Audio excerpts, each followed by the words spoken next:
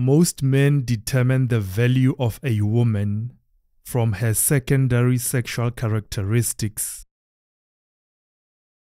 whereas most women determine the value of a man from his primary income.